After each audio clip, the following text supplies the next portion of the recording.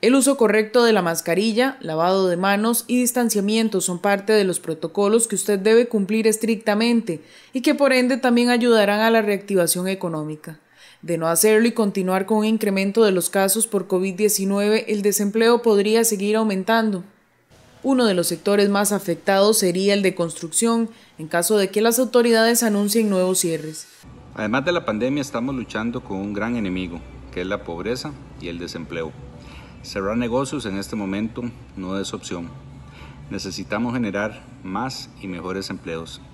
Eso solo lo vamos a lograr si seguimos estrictamente los protocolos. Por ello piden a la ciudadanía colaborar entre todos y evitar llegar hasta una alerta roja en el país. Solicitan además acelerar el proceso de vacunación, ya que muchos de los trabajadores de la construcción están dentro del tercer grupo.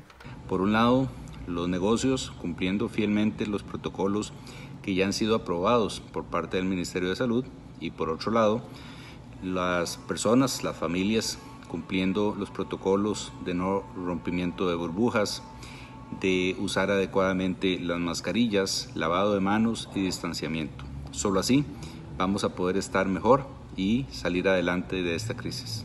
Instan también al sector a reforzar sus medidas sanitarias para evitar que estos se enfermen y pongan en riesgo el empleo y sustento de las familias.